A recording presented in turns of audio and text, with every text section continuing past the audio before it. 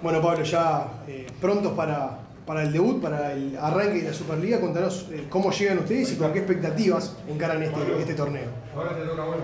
Bueno, yo creo que llegamos muy bien. Sabina ha hecho una muy buena preparación, ha, ha hecho una muy buena integración. Se ha, se ha logrado crear un grupo que, que en esto del rugby es fundamental, sobre todo cuando un equipo profesional donde, donde se unen diferentes personas, diferentes clubes, países, costumbres y, y poder lograr un grupo creo que fue el objetivo, uno de los objetivos principales. Así que estamos muy contentos por eso. Justamente cómo ha sido la adaptación de los jugadores del exterior que, que han llegado para, para integrar este equipo. Bueno, muy bien, esa fue una de las tareas que entre el management y los jugadores han logrado generar esa inercia y esa tranquilidad en los chicos para poder integrarse. Este, lo hicimos desde, desde un principio así, para poder este, eh, nosotros estar tranquilos de que están siempre rodeados por, por gente que tenga la capacidad de resolver sus problemas e integrarlos, así que la verdad que estoy muy contento. ¿Qué pudiste ver de Peñarol, que jugó su primer partido amistoso la semana pasada? ¿Y qué te imaginás de cara al partido de este miércoles en relación al rival justamente que, que van a tener enfrente? No lo vi. ¿No lo analizaste? No analicé. ¿Qué partido te imaginas? No, me imagino partido duro. Este, conozco a los jugadores, así que sé que son chicos que van a, jugar muy duro, que van a, realmente dedicarse a, cumplir un plan de juego. Y, bueno, aparte son muy exactos en ese, tipo de plan de juego y lo conocen muy bien.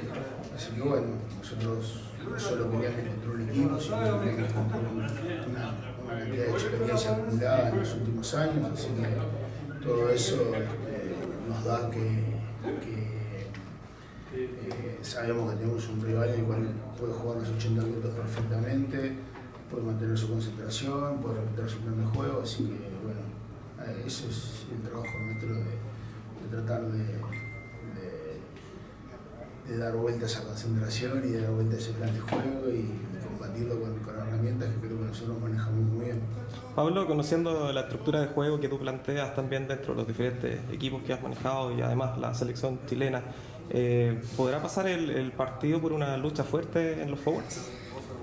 Yo creo en las bases del rugby y las bases del rugby, una de ellas es la obtención y el dominio del, rival.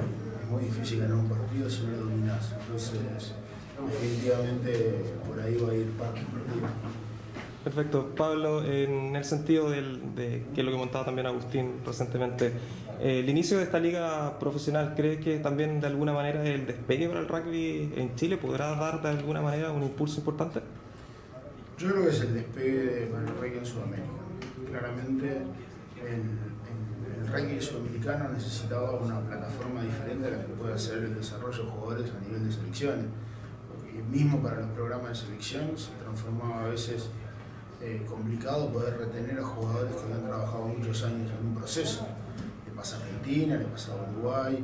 Este, entonces me parece que, estas nuevas plataformas de desarrollo de jugadores de rugby, de complementariedad entre, entre el profesionalismo y, el, y, jugar en sus clubes, todo eso va a generar una dinámica muy importante en, la, categorías futuras, sobre todo las que vienen que van a poder empezar a ver otra cosa como, como, como un medio de, hasta un medio de vida en algunos casos, de desarrollo personal. Entonces, definitivamente el rugby de la región cambia, cambia y yo creo que eh, visualizándolo a futuro creo que cambia mucho más rápido de lo que pensamos. Muchas gracias.